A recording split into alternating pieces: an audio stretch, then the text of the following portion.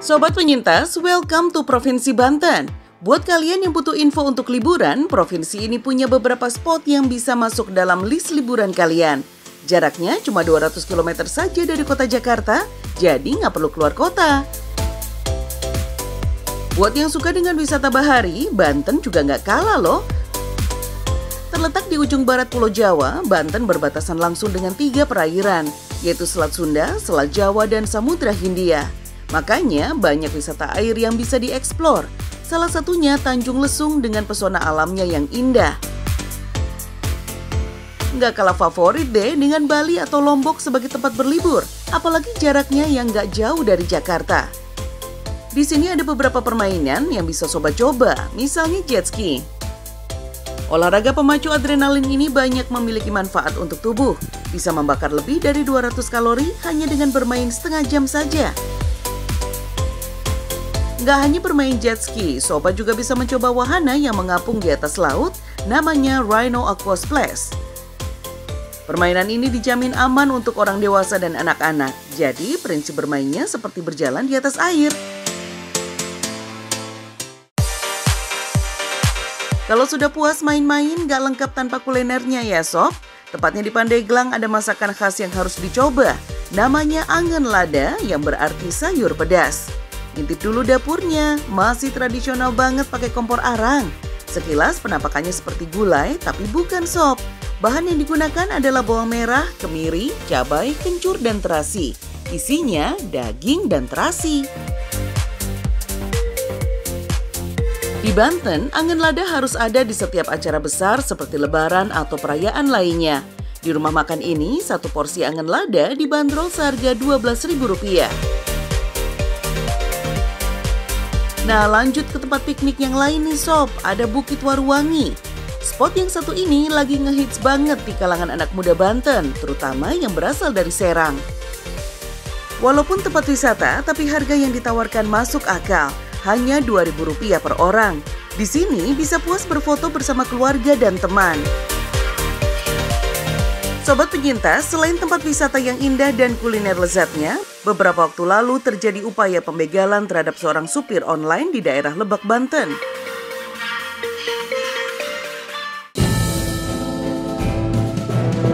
Kejadian berawal pada pertengahan Mei 2021. Saat itu, Evi Hanafi hendak mengantarkan empat orang yang memesan taksi online miliknya di daerah Sempu, Kota Tangerang. Empat orang penumpang ini hendak menuju ke daerah Cileles, Lebak, Empat penumpang itu naik ke dalam mobil, satu orang berada di depan di sebelah kiri Evi, sedangkan tiga orang lainnya duduk di kursi belakang. Saya nongkrong di KSB ataupun dekat MOS ya, Serang Timur. Saya dapat orderan di Sempu, orderan itu saya ambil dan saya bawa.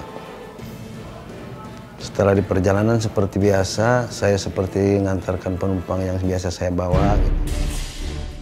Tanpa menaruh curiga sedikit pun, Evi segera menancap gas kendaraannya. Ia mengarahkan mobilnya ke tujuan yang diinginkan oleh keempat orang penumpang. Namun setelah melewati perkebunan sawit yang sepi dan menjelang dini hari, Evi merasa ada yang tidak beres dengan tindak tanduk para penumpangnya. Di kebun sawit ada lubang, dia bilang lagi, awas ada lubang di depan dan saya ngerem, ternyata pas saya ngerem mau mau pindahkan gigi dari gigi 3 ke gigi 1 ternyata mobil itu berhenti dan diangkat mungkin rem tangan saya diangkat sama begal ini. Tindakan para begal ini membuat mobil yang sedang dikemudikan Evi berhenti secara mendadak. Dalam keadaan panik, ia berusaha menyelamatkan diri dari serangan keempat orang penumpang yang hendak melukai dirinya. Dan langsung saya ditembak dari belakang kepala saya dan terus bertubi-tubi saya dipukulin, saya berusaha bertahan untuk melawan. Dan dia bilang ambil itu kunci mobilnya. Ternyata saya langsung ingat saya ambil dulu kunci mobilnya dan saya amankan saya ambil HP juga. Saya keluar saya tantang itu untuk berantem dalam keadaan luka akibat 10 kali tembakan di tubuhnya, seorang diri Evi bertahan melawan empat begal itu. Sudah tentu perlawanannya menjadi berat sebelah dan tidak seimbang. Kalau saya nggak bisa mukul, posisi saya kan di depannya, pegang setir. Jadi yang mukul di belakang mungkin mau ngebalas juga susah. Posisinya posisi kaku saya itu. Kondisi di dalam kendaraan yang sempit membuat Evi tidak leluasa melakukan perlawanan. Ia segera keluar dari dalam mobil dan mengambil handphone serta mencabut kunci kendaraannya. Ya, hanya itu aja perlawanan untuk bela diri dan untuk melawan mereka. Ternyata dia kabur semua.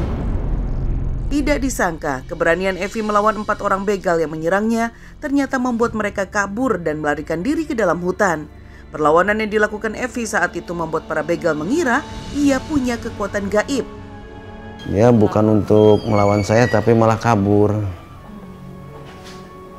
Dan saya tunggu itu mungkin beberapa menit ya, nggak nggak selama satu jam atau karena saya butuh pertolongan gitu ya. Tidak hanya dipukuli dan ditembaki menggunakan airsoft gun, bahkan Evi sempat disetrum dengan alat kejut listrik. Semua usaha begal ini kandas akibat perlawanan gigih dari Evi Hanafi. Ya, kita bertahan ya minta kepada Allah aja lah kita. Hanya Allah lah yang bisa menguatkan badan saya gitu kan. Setelah kejadian begal itu, Evi pun segera pulang ke rumah dan meminta sang istri untuk membersihkan lukanya. Evi segera pergi ke klinik terdekat untuk mendapatkan pertolongan pertama. Saya pulang ke rumah dulu untuk dibersihkan luka ini. Setelah itu saya berobat dan saya ngurut, baru saya berunding untuk melaporkan kasus ini ke Polres Lebak ini. Tidak lama setelah Evi membuat laporan di Polres Lebak, para pelaku begal yang menembakinya segera tertangkap dan menjalani proses pemeriksaan oleh pihak kepolisian. Evi berharap kejadian yang menimpanya tidak dirasakan oleh driver online lainnya yang sedang mengantarkan penumpang di malam hari. Sekarang dirinya lebih selektif dan teliti serta hati-hati dalam memilih calon penumpang. Tip amannya itu ya kita Sherlock 8 jam dan screenshot orderan kasih ke grup kita jadi biar dipantau sama teman-teman kita yang lain. Evia Nafi bersyukur masih selamat dan diberikan kesempatan hidup setelah mengalami percobaan begal itu. Aksi heroik dan tidak panik menghadapi ancaman begal, serta sikap berani penuh perhitungan membuatnya masih dapat terus mencari rezeki hingga saat ini.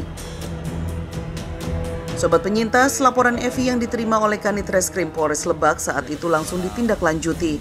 Proses pencarian para pelaku dipimpin oleh Ibda Reza Kurnia, Kanit Jatan Ras Polres Lebak. Tim uh, Resmob melakukan olah TKP, memang betul ada kejadian dan uh, melihat saudara korban mengalami luka tembak uh, sebanyak 9 luka tembak. Kepolisian setempat segera melakukan olah TKP untuk mencari para pelaku begal yang diduga adalah warga sekitar. Dalam waktu kurang dari 24 jam, para pelaku pembegalan berhasil diamankan pihak kepolisian. Pelaku yang tertangkap berjumlah lima orang, salah satu di antaranya masih duduk di bangku sekolah SMA kelas 10. Uh, eh, setelah kita melakukan penangkapan ya, semua lengkap ya, tersangka ada, diduga tersangka ada lima yang memiliki peran masing-masing sesuai dengan uh, pasal yang kita terapkan ya, pasal 365 ya, uh, junto 53 ancaman hukumannya 12 tahun dan undang-undang darurat ya, uh, ancaman 15 tahun. Setelah kejadian pembegalan terhadap Evi Hanafi, pihak kepolisian Polres Lebak terus melakukan patroli. Upaya ini dilakukan untuk menghindari kejadian serupa dan memberikan rasa aman bagi warga Banten dari aksi kejahatan. Ya jam-jam kecil ya, jam-jam kecil itu menjelang pagi kita meningkatkan baik dari Polres maupun Polsek kita melakukan patroli. Sobat penyintas, untuk menghindari aksi kejahatan sebaiknya selalu berhati-hati dan waspada. Demi keamanan Anda sebaiknya menghindari kegiatan yang dapat mengundang aksi kriminal, hindari perjalanan di saat malam hari yang tidak perlu, jauhi tempat sepi serta tidak menggunakan ponsel di jalanan yang rawan aksi kejahatan.